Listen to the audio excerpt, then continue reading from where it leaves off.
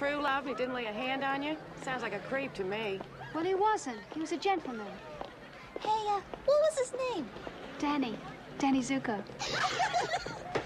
Well, I think he sounds peachy keen, and well, maybe if you believe in miracles, Prince Charming will show up again someday. Somewhere unexpected. See you later. Come on, girls. Do you really think so, Frenchie? Sure. Yeah? Uh, Sandy, I,